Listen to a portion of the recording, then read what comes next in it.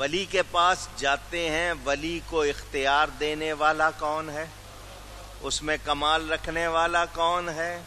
اس کی بات ماننے والا کون ہے؟ اللہ، ختم۔ یہ۔ اللہ۔ یا رسول۔ یہ سمجھیں کہ یہ ولی خود سے کر رہا ہے، یہ ہمارا عقیدہ نہیں۔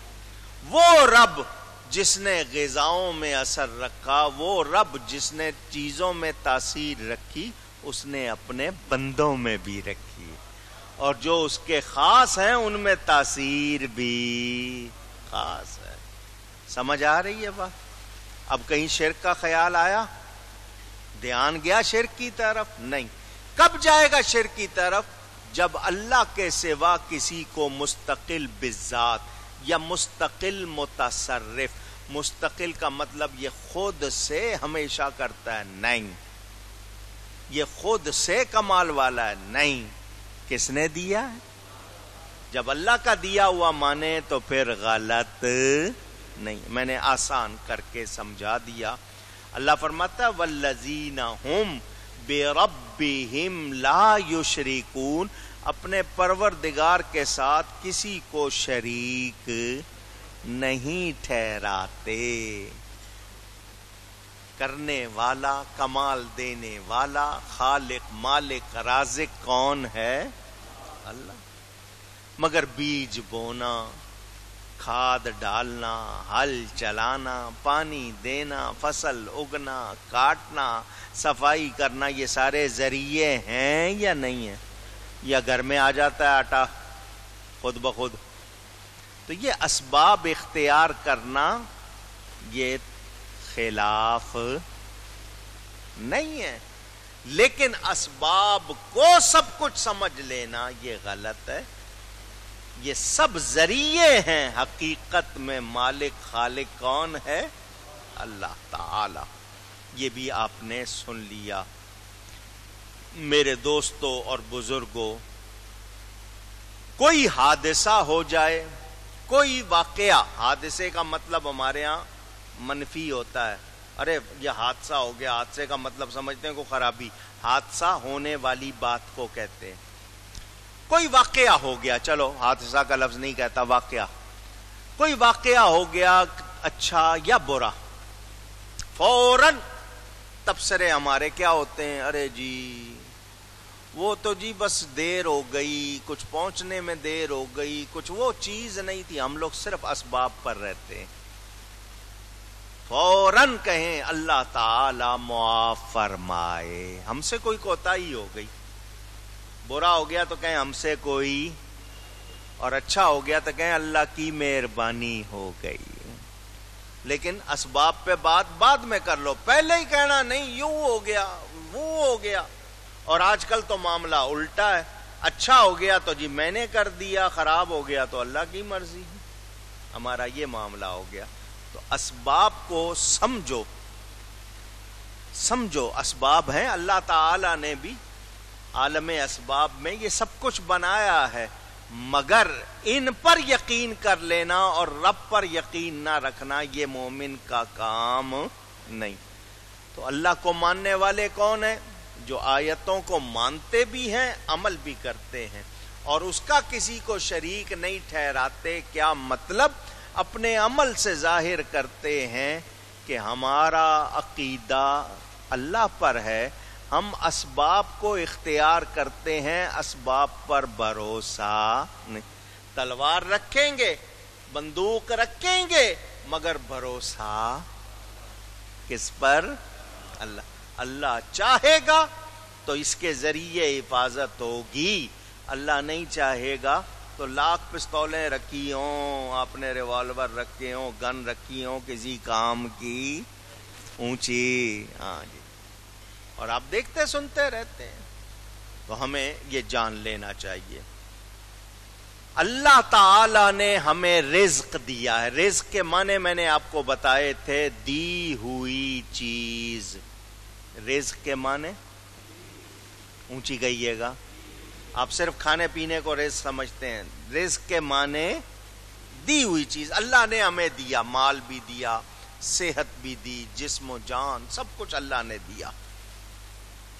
اس کے رزق میں سے جو کچھ اس نے دیا ہے، اس کی راہ میں خرچ کرنا۔ اس کی راہ میں، اونچی کہیں نہیں آواز آئی۔ ہم تو جوڑتے ہیں۔ اور جوڑنے کی اسپیڈ کیا چاہتے ہیں؟ دو سے چار چار سے آٹھ ضرب دیتے ہیں ملٹی پلائی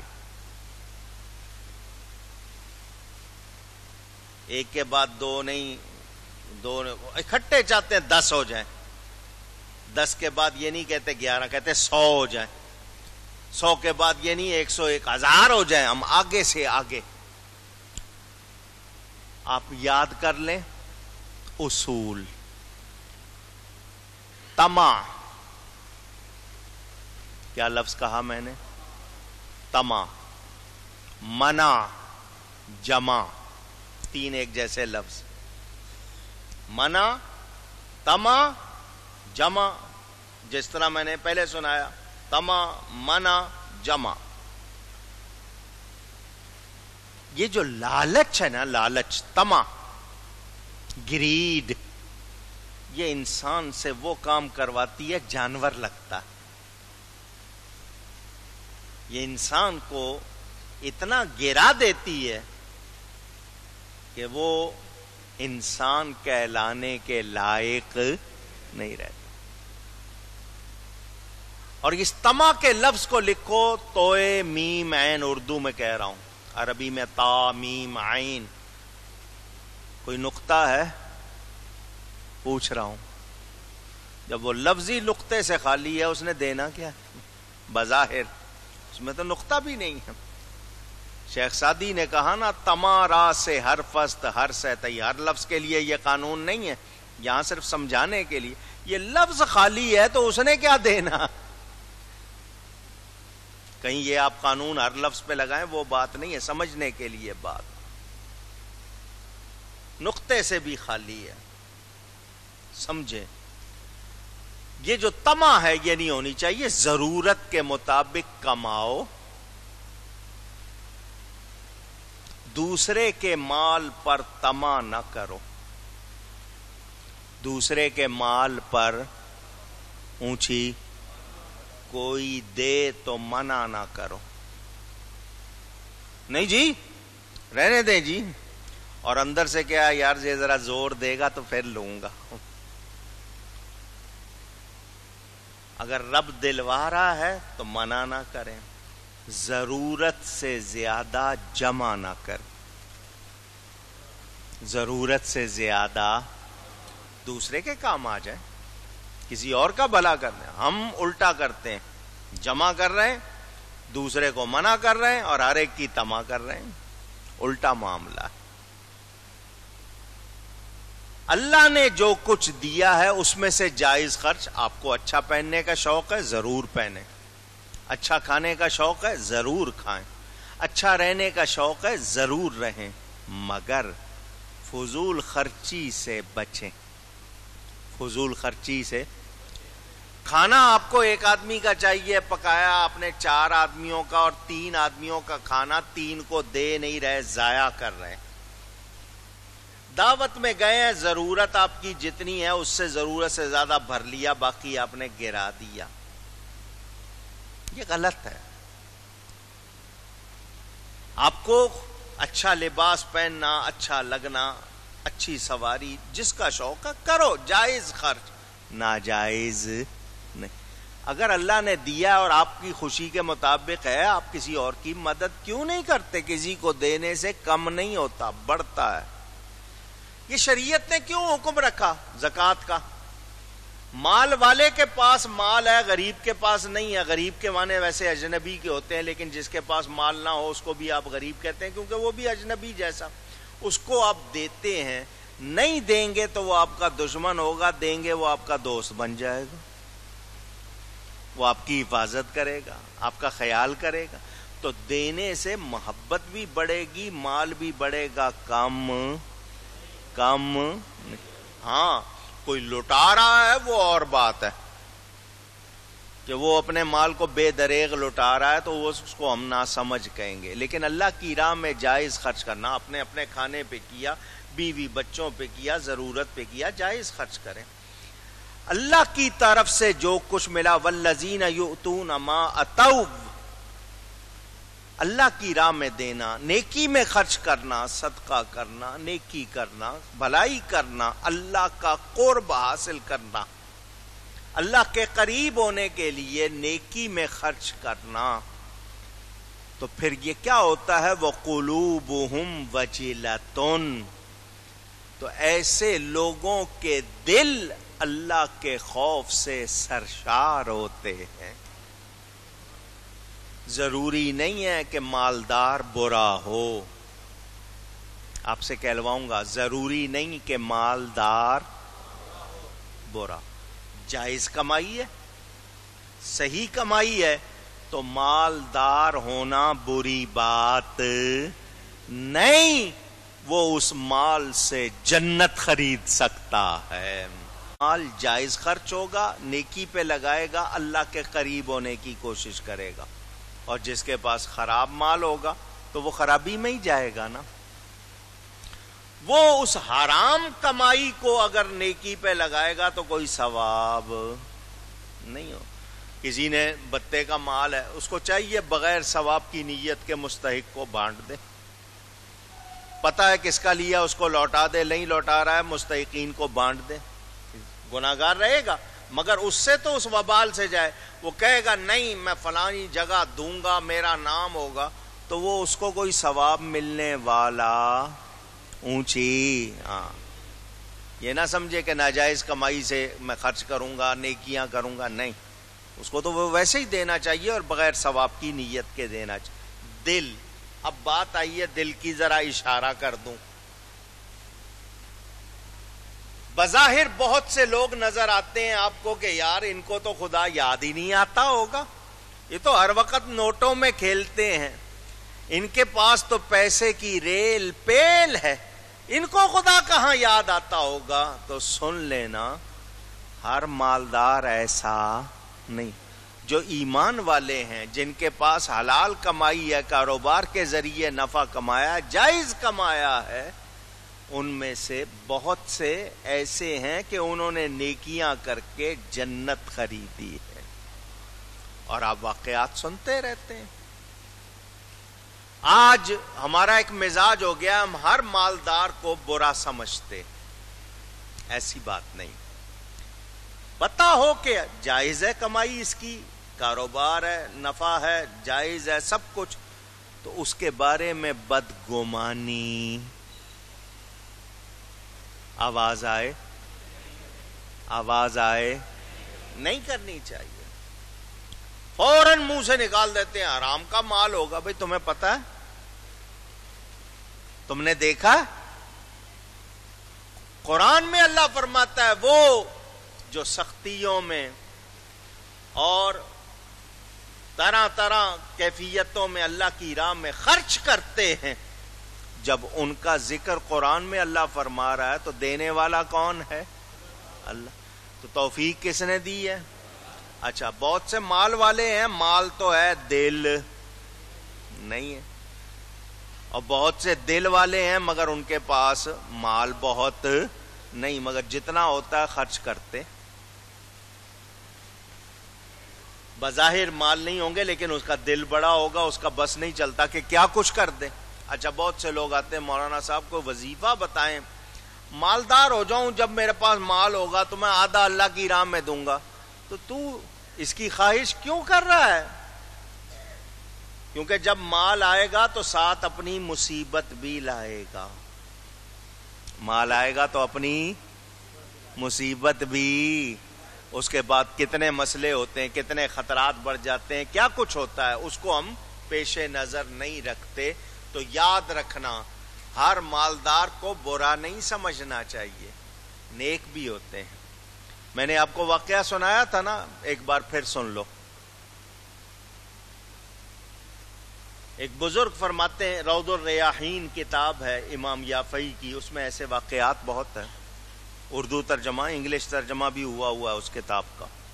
میرے والد صاحب قبلہ کی کتاب، راہ عقیدت میں بھی ایسے واقعات لکھے ہیں انہوں نے۔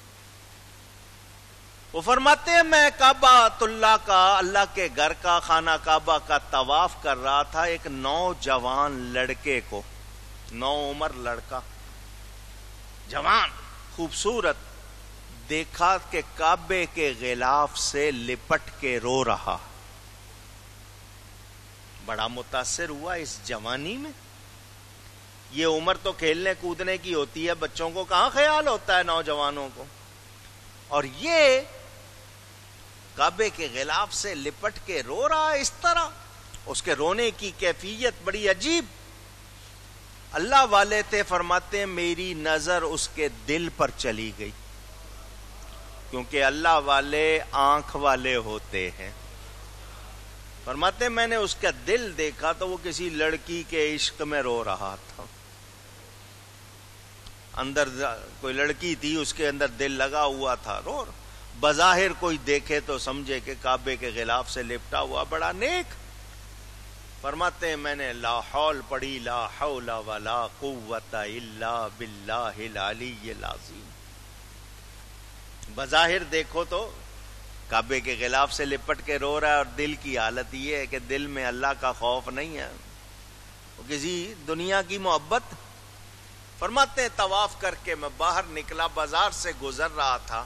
تو آگے ایک سراف سونے والے کی زرگر کی دکان، جیولر۔ اس کے دائیں بھی سونا، بائیں بھی سونا، سامنے بھی سونا، ہر طرف سونا ہی سونا، پیور گولڈ۔ اس کو دیکھ کے مجھے لگا اس کو اللہ یاد آتا ہوگا۔ ہر وقت تو سونے میں ہر طرف سونا، اس کو کبھی اللہ یاد آتا ہوگا۔ فرماتے ہیں اس کے دل پر نظر کی تو اس کا دل اللہ اللہ کر رہا تھا۔ ادھر وہ لڑکا کعبے کے خلاف سے لپٹ کے رو رہا ہے، دل میں کیا ہے؟ ادھر یہ ہاتھ دنیا میں ہے اور دل میں اللہ اللہ۔ مت میں بڑا متاثر ہوا، اس کا کیا حال ہے اور اس کا کیا حال ہے؟ تو یاد رکھنا یاد رکھنا، ہم کسی کے بارے میں بدگمانی بہت جلدی کر لیتے ہیں۔ فوراً اجی میں جانتا ہوں جی۔ کیا جانتے ہو بھائی؟ اگر واقعی جانتے ہو، تب بات کرو۔ ایسے ہی ٹھوک دینا اور پھر بدگمانی کر کے دوسرے کے ذہن کو خراب کرنا، تو وہ لوگ جن کو رب نے دیا ہے اور اس میں سے وہ خرچ کرتے ہیں، مگر اللہ سے ڈرتے رہتے اللہ سے، ان کے دل خوف خدا سے سرشار۔ یا اللہ، یہ تیرا دیا ہوا مال، یہ تیری دی ہوئی نعمتیں کہیں ان میں کوئی غلطی نہ ہو جائے۔ کوئی کوئی غلطی نہ ہو۔ سوچیں۔ ایک پیسہ کہیں غلط خرچ نہ ہو جائے، کوئی غلط شامل نہ ہو جائے، وہ اپنے آپ کو صاف ستھرا رکھتے۔ اور آج کل، نہیں جی۔ جی آنے دو جدھر سے آ رہا ہے، نہ حرام دیکھنا، نہ حلال دیکھنا، تو بتائیے پھر کیا برکت ہوگی؟ بھلائی ہوگی؟ اچھائی ہوگی؟ نہیں۔ تو یاد رہے، جس کے دل میں خوف خدا نہیں ہے وہ سمجھ لے اس کے پاس۔ آواز آئے۔ اچھا اب میں آپ کو خوف سمجھاؤں۔ شیر خطرناک درندہ ہے یا نہیں؟ آپ سب نے کہا ہے۔ میرا اس طرح کہنا کہ شیر خوفناک ہے، آپ کو ڈر لگا؟ بتائیے، نہیں۔ علم ہے۔ جانتے ہیں۔ مشاہدہ نہیں ہے، دیکھ نہیں رہے۔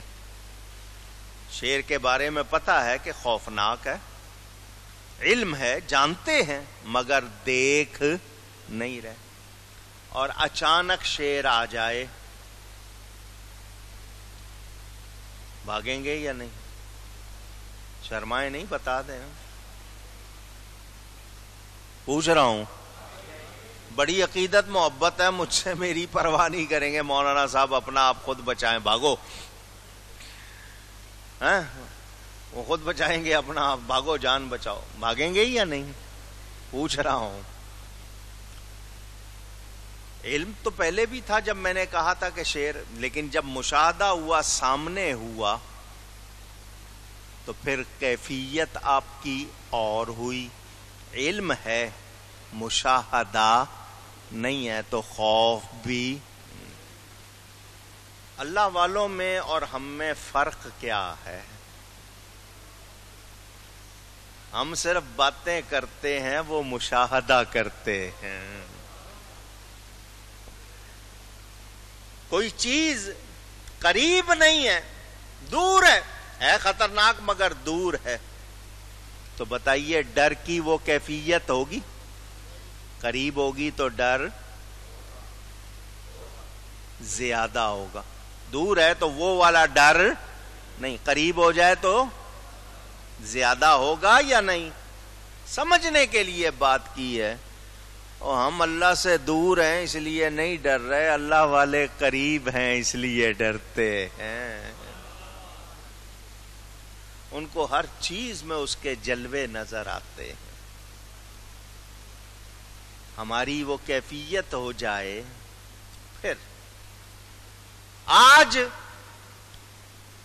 مال ہے، سامان ہے، اس میں گم ہو گئے۔ رب کی یاد کہیں ادھر ادھر ہو گئی۔ اور جن کا ہر وقت اللہ کی یاد میں ہی سلسلہ ہے، ان کی حالت اکیلے میں ہو، محفل میں ہو، بدلتی، اونچی نہیں۔ یہ بہت بڑی سوچ ہے۔ اگر اندر آ گئی نا، سن تو سب نے لی ہے، جس کے اندر اتر گئی نا، اس کی حالت بدل جائے گی۔